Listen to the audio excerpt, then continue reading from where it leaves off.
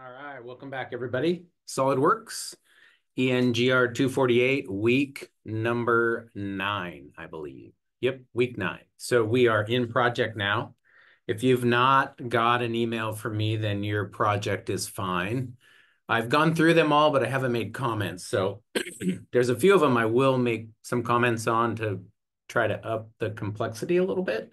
But, but overall, they look great, like super fun. So if you're curious uh, what other folks are doing, you can go to the submission area and you can look in the final project proposal and here they all are. So that's, you know, open territory for all of you to take a look at what other folks are going to do. So uh, some of them look super fun. Um, I'm excited. And of course, if you need help, uh, reach out and I can help. I can either create a video or we can meet on the Thursday afternoon thing or some other time, however you want to do it. But along with the project, you have some progress reports to send in. So I don't want you to miss these. There's one on, on the 31st and there will be one on the 7th. So every Friday. And I really want you to um, log your time. So, you know, you, you could actually build a schedule so you get this thing done on time. Uh, but in the submission area, you'll see that the progress report has a bit of information to it. And I want it to be a MOV file or an MP4 file. So a movie, right? You can do it with your phone if you want. That's fine. Um, if that's the easiest for you and then submit it.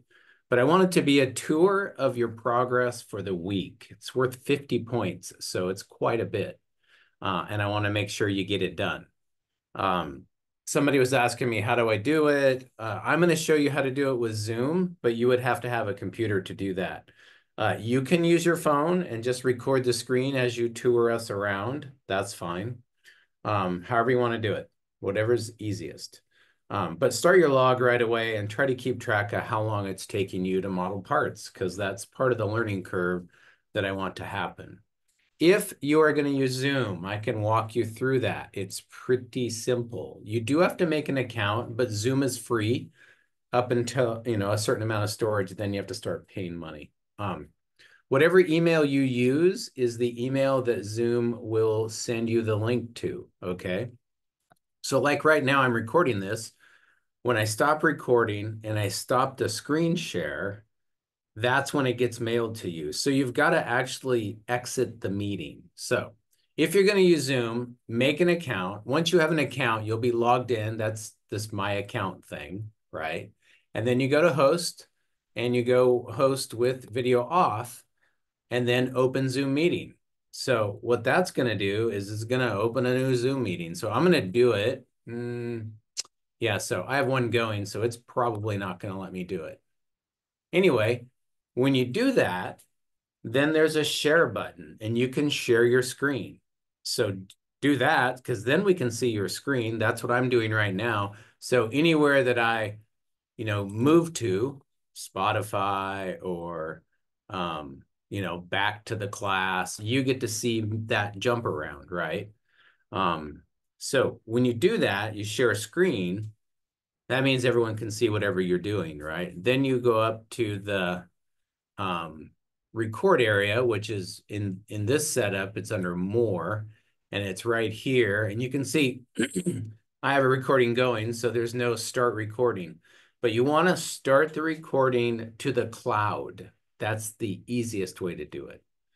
When you do that, it records to the cloud. And then when you exit the meeting and close it all down, stop the recording, it automatically sends you a link to that recording. That's the link I need. Um, you can give it a title. You can, you have to kind of go through the process of answering the questions. Uh, but then you can just share the link with me on Blackboard, right? Submit that link and I'll be able to just click on it and see it. In Zoom, your recording lasts 30 days. So after 30 days, it's going to erase your recording. So that's a pretty easy way to do it. Um, most of us are pretty up to date on Zoom, so that's kind of why I said that. Uh, again, if you just want to use your phone and you know give us a tour around your project. Um, show us the cool things about it. Basically, the progress that you have made to date.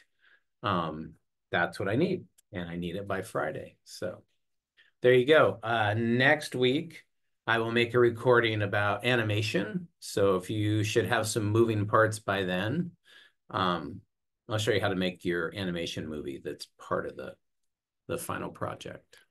All right, if you have any questions, of course, reach out um, and I will get you some answers.